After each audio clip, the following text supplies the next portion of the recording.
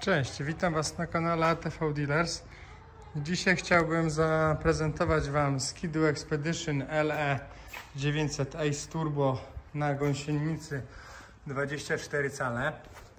E, Jest to także skuter utility, który służy gdzieś tam do, do pracy, do przewożenia ładunków, do jazdach do prac czy ciężej, ciężej dostępnych domków.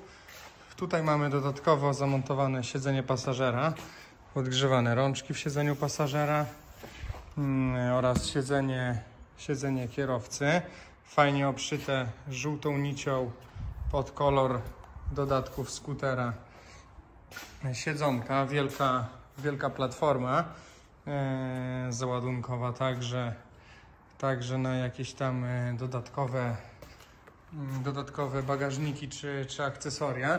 Jak widzicie tutaj jest już 60 centymetrowa gąsienica tylna 24 cale. Dla porównania jest to bardzo szerokie. Komander mamy tutaj 50, czyli 20-calową.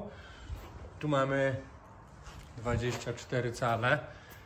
Także naprawdę jest to potężne. 900 cm sześciennych. Silnik na turbie 150 koni. E, zawieszenie Kajaba bardziej standardowe. Tutaj mamy gazowe. E, Duża, fajna przednia szyba, która chroni nas mocno przed wiatrem. I tak to się prezentuje.